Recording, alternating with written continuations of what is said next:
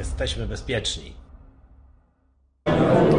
Bartosz Urbański, MMA Bądź na bieżąco, a ze mną Carlito, siemano. Siemano, cześć. Piąteczka.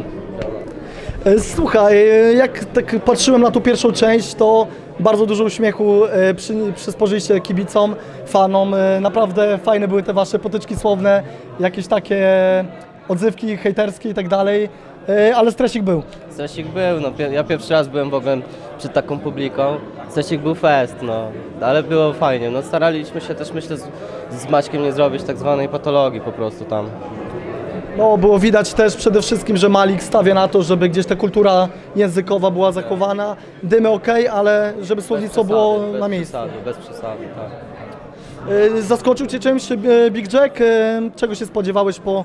Zaskoczył mnie tym, że był spokojny, bardzo był spokojny. Myślałem, że on tam może we mnie wleci, że może będę musiał się bronić czy coś, a był bardzo spokojny, ale to dobrze. Słuchaj stary, jak Ty mówisz o stresie, to naprawdę Big Jacka chyba troszeczkę mi się wydaje przerosło, bo były momenty, gdzie naprawdę potrzebował przerwy. Mm, ale i tak naprawdę powiem Wam szczerze, do tej pory chyba największy zrobiliście tutaj hałas na, na, i owacje na trybunach.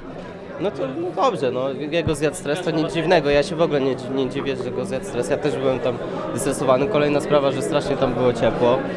No ja się nie dziwię w ogóle. E, celem jest utylizacja przeciwnika i walka z minimajkiem. E, Tak, dobrze powiedział. no to było zajebiste. Powiedz, e, czy może rozmawialiście już z minimajkiem, albo wiecie może, czy on jest chętny na walkę z Wami? Nie wiem nic na ten temat, ale jeśli by się coś takiego udało, no to, to ja jestem za i myślę, że Maciek też jest za. No dobra, powiedz może jaka była geneza i kulisy w ogóle waszego kontraktu tutaj. E, Malik się pierwszy do was odezwał, jak, jak do tego doszło, że walczycie tutaj, a na przykład nie Fame MMA czy w innej federacji?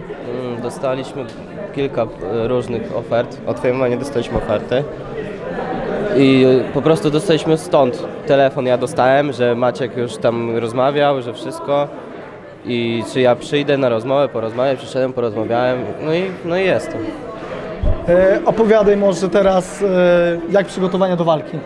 Jak do tego podchodzisz? Czy to bierzesz to totalnie na serio? E, czy może masz jakieś tam inne obowiązki i na razie trenujesz tak doraźnie?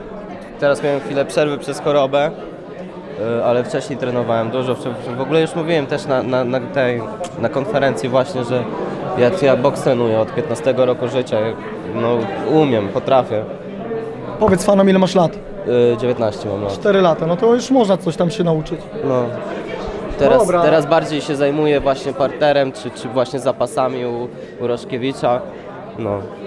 E, Jak sobie chwalisz treningi u trenera, e, który trenuje również Amadeusza Ferrariego, trenuje Szymona Kołeckiego i tak dalej. Naprawdę trener, który coraz głośniejszy jest na, można powiedzieć, tej scenie naszej tutaj i zawodowej, i freak fightów.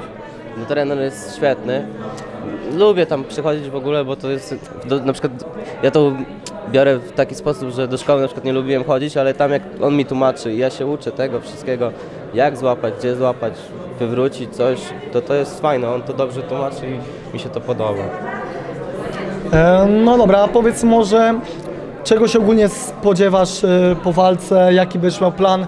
Planu pewnie nie zdradzisz, ale e, myślisz, że to będzie walka na pełnym dystansie, czy raczej gdzieś jakiś szybki knockout i do domu?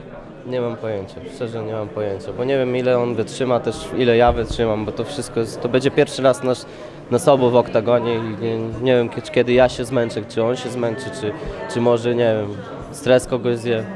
Nie mam pojęcia jak to będzie wyglądało. A jak Tobie w ogóle się podoba tutaj cała oprawa, bo jest to debiut federacji, ale widać, że e, nie szczędzą pieniędzy, idzie to z wielkim przytupem. No i chyba największa konkurencja w tym momencie dla Fame MMA. No atmosfera jest w ogóle fajna, ci ludzie są wszyscy sympatyczni, jest strasznie miło. No i mega jest w ogóle to zorganizowane. Jak byłem na konferencjach gdzieś tam na widowni w innych federacjach, to no, nie wyglądało to aż tak. Tutaj jak wszedłem pierwszy raz zobaczyłem, to się mocno zdziwiłem.